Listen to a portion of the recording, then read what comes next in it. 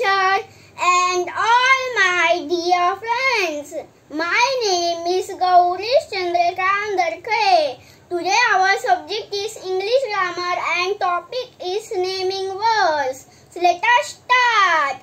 Naming words means that stand for people, places, animal, birds and things. So first I tell you some words that stand for people. Father, mother, brother, grandfather, grandmother, postman, milkman, teacher and police are names of people. Now I tell you some words that stand for places.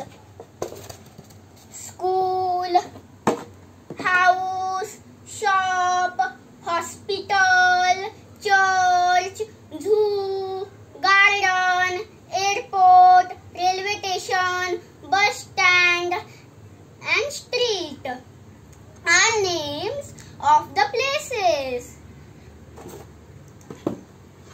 Now I tell you some words that stand for animals.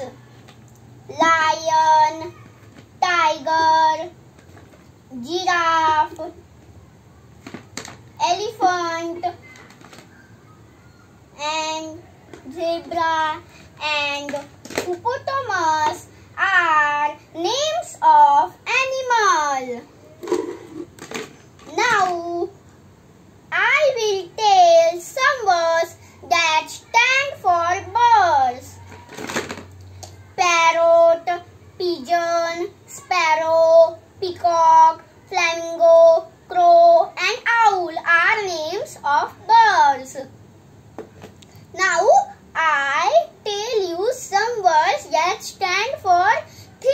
things chair table sofa car spoon cup bowl